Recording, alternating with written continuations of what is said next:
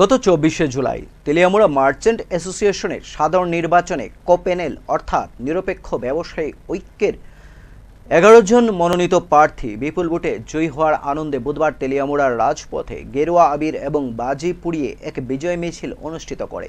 এদিনের এই বিজয় মিছিলে এগারো জন বিজয়ী প্রার্থীদের গলায় ফুলের মালা দিয়ে তাদের সঙ্গে মিছিলে অংশগ্রহণ করেন আঠাশ তেলিয়ামুড়া বিধানসভা কেন্দ্রের বিধায়িকা কল্যাণী রায়। নিরপেক্ষ ব্যবসায়ী ঐক্য তেলেমুড়া বাজারের সমস্ত ব্যবসায়ীদের কল্যাণার্থে সর্বদা কাজ করে যাবেন।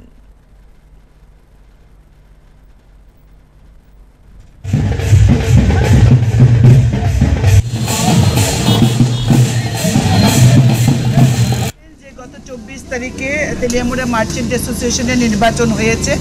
নিরপেক্ষ ব্যবসায়ী ঐক্য সেই নির্বাচনে এগারো জন প্রার্থী আমরা তাদের প্রার্থী ছিল এগারো জন।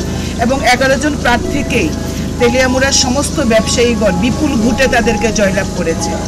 নিরপেক্ষ ব্যবসায়ী ঐক্য সবসময় মার্চেন্ট যত সব ব্যবসায়ীরা রয়েছেন তেলিয়ামুড়া, প্রত্যেকের জন্য তারা বিগত সময়েও খুব ভালো কাজ করেছে এবং তাদের কাজে, বিগত দিনের কাজে এবং সাফল্যে আমরা খুব খুশি এবং এই কারণে এবছরের নির্বাচনে তাদেরকে আমরা বাইরে থেকে সমর্থন করেছিলাম।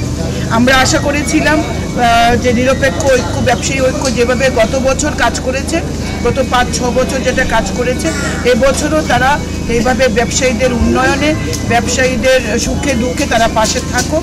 এই বার্তা নিয়ে তাদেরকেও আমরা সমর্থন জানিয়েছিলাম এবং